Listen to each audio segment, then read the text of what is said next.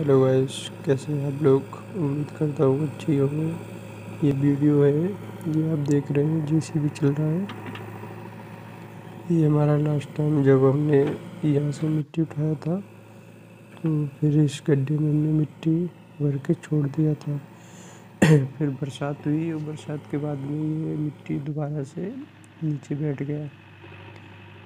फिर ये जेसीबी से इसको खोदा जा रहा है। फिर उसके बाद में इसमें पानी छोड़ दिया हमने। फिर भी ये नीचे तक पानी गया नहीं है। इसीलिए फिर हमने दोबारा से इसमें जेसीबी के बकेट से नीचे से मिट्टी निकलवाया। फिर ऊपर डलवाया, नीचे से ऐसे करके ये नीचे तक इसके पानी पहुँच गया नमी। ये देखिए पानी कितना हो गया। और ये एक दो कल से इसमें से मिट्टी जाने लगेगी ब्रिक्स मेकिंग के लिए। और उसका भी वीडियो दिखाएँगे आपको। कैसे मशीन मिट्टी ली जाती है जहाँ से, कैसे मशीन में ये जेसीबी से मिट्टी भरा जाएगा। और आपको अगली वीडियो में दिखाएँगे कि कैसे ईंटें बनती मतलब मिट्टी, गारा मशीन, कैसे यहाँ से गारा लेके जाती है, गारा यानी कि गीली मिट्टी। ये पानी काफ़ी हो गया है अब उसमें सेवल बंद करने जा रहे हैं। क्योंकि ज़्यादा पानी हो जाएगा तो फिर दिक्कत हो जाएगी क्योंकि मिट्टी ज़्यादा गीला होने से फिर ज़्यादा पतला हो जाता है, जिससे ईंटें बनाने में बहुत दिक्कत होती है। क्योंकि सर्दी का मौसम है तो धूप वूप भी कम निकलती है तो इससे मिट्टी ज़्यादा नमी रहेगी मिट्टी में।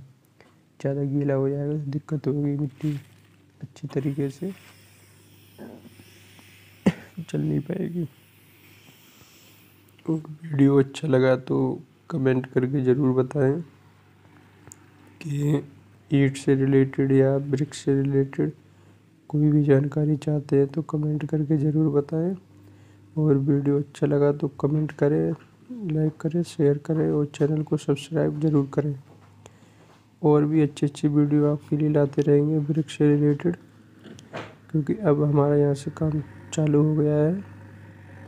और ये आज से या कल से ये मशीन चलना शुरू हो जाएगा, क्योंकि इसको बारह घंटे चाहिए चौबीस घंटे? बारह नहीं, चौबीस घंटे चाहिए मिट्टी गीली होने के लिए। उसके बाद ही मिट्टी अच्छी तरीके से पानी ऑब्जॉर्ब कर लेती है। पानी अच्छी तरीके से सोख लेती है, जिससे मिट्टी सूखी न रहे। अगर सूखी मिट्टी रहेगी तो ईट अच्छी नहीं बनेगी। ईट अच्छी नहीं बनेगी तो बेकार हो जाएगी, टूट जाएगी। और ये उस तरफ़ सूखी मिट्टी ऊपर रह गई है, इस तरफ़ पानी आ गया। और ये अब जेसीबी की मदद से इस तरफ़ पानी की तरफ़ इसको धकेल दिया जाएगा।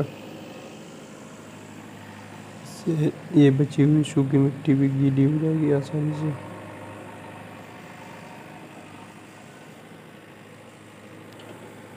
ये जेसीबी थ्री डी एक्स है, दो हज़ार उन्नीस मॉडल। काफ़ी अच्छी है।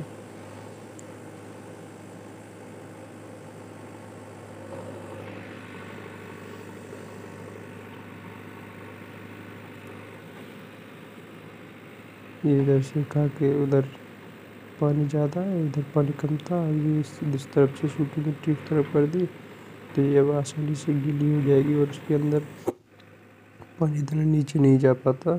इसलिए जेसीबी से बकेट से अंदर तक खुदाई कर रहे हैं, जिससे कि नीचे जो सूखी मिट्टी है वो ऊपर आ जाएगी और पानी नीचे चला जाएगा।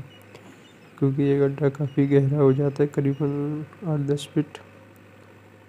वीडियो में और दिखाते रहेंगे कल कैसे मिट्टी इसमें से जेसीबी भरती है और गारा बनाने वाली मशीन इसमें से भर के ले जाएगी अपने ट्रैक्टर से। ट्रैक्टर पावर यूरो पचास मेरी वीडियो में उसकी भी वीडियो बना रखी है और कल एक, कल से शुरुआत होगी, मिट्टी ले जाने की। तो कल एक वीडियो और बनाएँगे। कैसे मिट्टी ले जाती है मशीन? कैसे जैसे भी मिट्टी को भरती है? और वीडियो को लाइक ज़रूर करें और कमेंट करके ज़रूर पूछें। भट्टे से रिलेटेड कोई भी जानकारी चाहते हैं या ईटों से रिलेटेड कोई भी जानकारी, और चैनल को सब्सक्राइब करूँ, ज़रूर करें। वीडियो को like, share and subscribe. Video को लाइक तो कम से कम कर दिया करो भाइयों। Thanks for watching like, share, subscribe.